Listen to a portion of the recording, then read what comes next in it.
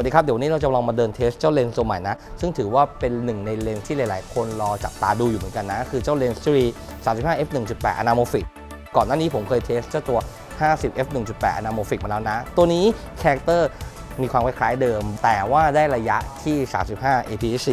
คูณตัว full frame แล้วก็จะเป็นประมาณ 50 ซึ่งถือว่าเป็นหนึ่งในระยะที่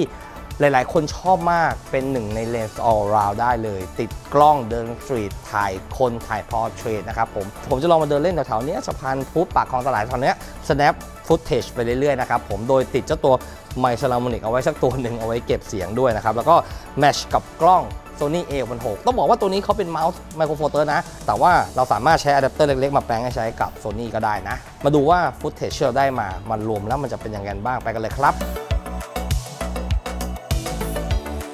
ชุมชนต่างๆเนี่ยที่เรามักจะถามเขาส่วนมาก จะเป็นเรื่องอะไรไม่ได้เลยนอกจากเรื่องของปากท้องของคนนะครับซึ่งน่าจะเป็นหนึ่งในเรื่องที่เขาก็คงอยากจะเล่า เหมือนได้ระบายอะไรบางอย่างให้เราฟังนะถือว่าก็ยังอยู่ในช่วงลำบากของที่นี่เหมือนกัน ทุกที่เหมือนกันท่องเที่ยวยังไม่เปิด มันก็มีผลต่อดอกไม้ตรงเลยแหละโดยตรงเลยใช่ไหมฮะใช่ไม่มีนักท่องเที่ยวไงระยะ 35 ถือว่าเป็นระยะสนุกนะที่สำหรับเดินถนนได้ดีนะเข้าใกล้คนได้นะฮะระยะไมล์ก็ยังได้ยินเสียงนะครับ ผมไม่ถึงขนาดไกลเกินไปนะครับ แล้วก็เป็นระยะที่เดิน carry เล็กๆ ก็สนุกได้เนาะเส้นสายของ anamorphic ที่เป็นเอกลักษณ์ของเลนส์พวกนี้ก็คือ เวลาเราถ่ายย้อนแสงไปเนี่ยมันจะเกิดเส้นแฟร์นะครับ ที่ผมมองว่ามันให้อารมณ์เหมือนแบบแนวซีเนมาติกนะ เป็น anamorphic แท้ๆที่ออกมาจากเลนส์ไม่ต้องมาทำในโปรแกรมตัดต่อนะ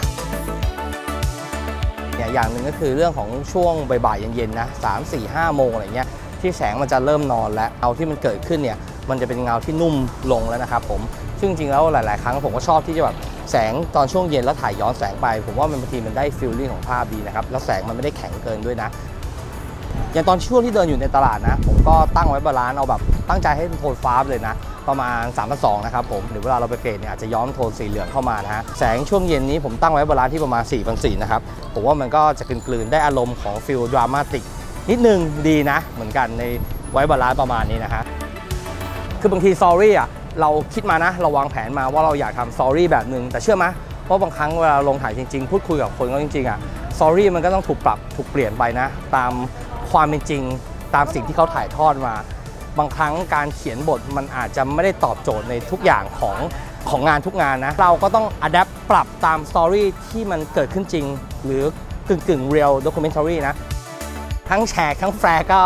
กระจายเข้าไปนะฮะ เหมือนใส่เอฟเฟกต์เลย แต่ว่าจริงๆ แล้วมันคือเอฟเฟกต์ที่มันมาจากเลนส์ anamorphic มันก็จะประมาณ feel เนี้ยคนไม่ชอบอาจจะไม่ชอบ แต่ถ้าคนชอบชอบเลยรักๆเลยนะ กับ feel ภาพประมาณนี้อะไรเงี้ยเดี๋ยวลองแวะแวบเข้าไปริมน้ำหน่อย ไปเอา scene เขาเรียกไปเอา insert ประกอบความสร้าง feeling สร้างความสวยงามเพิ่มขึ้นอีกไปคือเจ้าเลนส์ตัวนี้มันเป็นเลนส์ manual นะครับบางคนอาจจะกลัวเรื่องของการที่ต้องใช้ manual ในการโฟกัสนะแต่ผมบอกเลยว่า ตัว dial มันอะคือหมุนค่อนข้างจะง่ายมาก แล้วก็หาโฟกัสง่ายนะครับ คือไม่เป็นปัญหากับการใช้ manual เจ้าตัวนี้นะสบายมากคือหมุนง่าย แม่น ก็ถ้าใครสนใจเจ้าเลนส์ตัวนี้ Sirui 35 f 1.8 a n a m o r p h i c นะครับผมรวมถึงอุปกรณ์เซตนี้ที่ผมมาใช้นะ ก็สามารถติดต่อสอบถามได้ทางร้าน Big Camera ได้เลยเนาะแล้วไว้เจอกันจ้ะรายจ่ายเท่าเดิมแต่ค่าครองชีพสูงขึ้นมันไม่ใช้จ่ายไม่ใช้จ่ายเงินแล้วพวกเราก็เสร็จ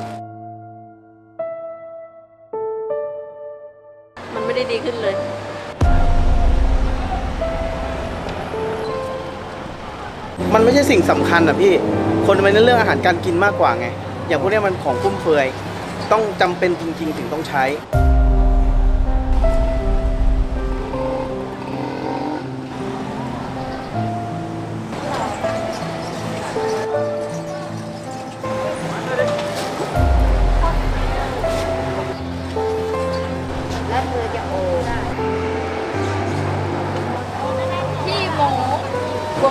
รอะไรพวกนี้ใช่ไหม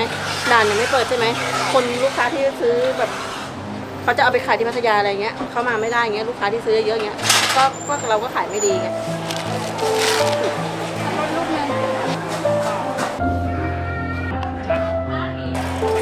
ค่าแพงก็แพง ไม่ลดลดได้ลดได้ครั้งเดือนเดีเดียยววไม่ใช่แล้วลดอะไรนะยี่ห้าเปอร์เซ็นต์คุณไม่อยู่กับคนแต่ว่าอื่นก็เอา คุณอยู่ได้ไหมคุณอยู่ไม่ได้ถึงไม่ออกเออน้ำท่วมปาก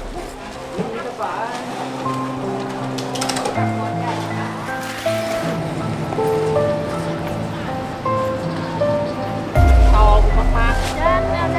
ต่างชาติมาเที่ยวบ้านเราใช่ป่ะเขาก็ต้องมาดูของสวยๆงามๆไม่มีใครมาเที่ยวถามว่าจัดให้ใครดู โรงแรมสั่งไปเนี่ยสั่งไปเพื่ออะไร ไม่มีงานอะเขาก็ต้องยกเลิกเรามาเป็นทอดอ่าๆคนส่วนที่เป็นคนทำของพวกเนี้ยเกษตรเนี่ยที่ส่งเรามาเนี่ยขายไม่ได้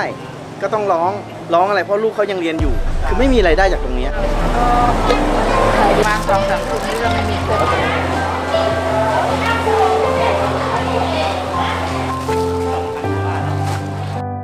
ในตลาดเนี่ยกู้เงินก็ครึ่งหนึ่งได้ กู้เงินพวกมาเก็บค่าแผงเนี่ยเราบอกไม่มีอย่างเงี้ยก็ไม่ได้ เราต้องหาให้เขา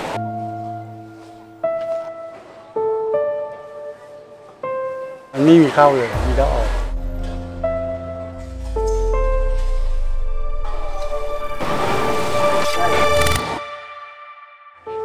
วันเนี้ยจะรอดไม่รอด จะจะอยู่ได้ไม่ได้